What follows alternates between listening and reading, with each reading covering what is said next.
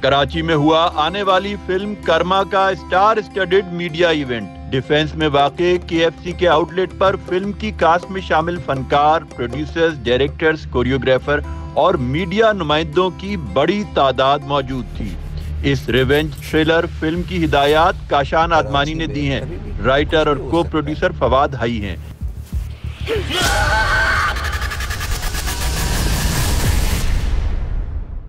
Cinematography Farhan Golden کے ذمے ہے، جبکہ کاسٹ میں عدنان صدیقی، نوین وقار زال سرحدی اسامہ طاہر، خالد انم، ارجمند رحیم، پارس مسرور، عمر عالم اور وجدان شاہ شامل ہیں۔ ہالی ووڈ کے ایکشن کنگ کونٹائن ٹرنٹینو جیسے کار چیزنگ مناظر سے بھرپور کرما میں یوں تو بہت کچھ نظر آئے گا۔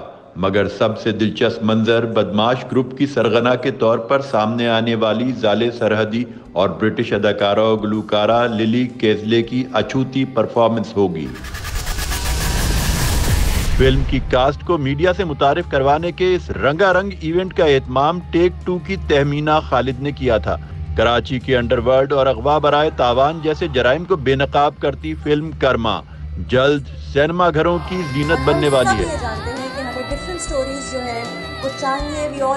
pray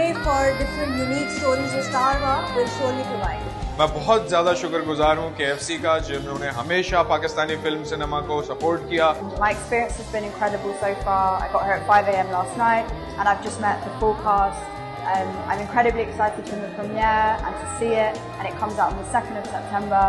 And also will pave a way for their future, better, crazier films. And as always, thank you everyone for the support, especially KFC. Please do go and watch the movie.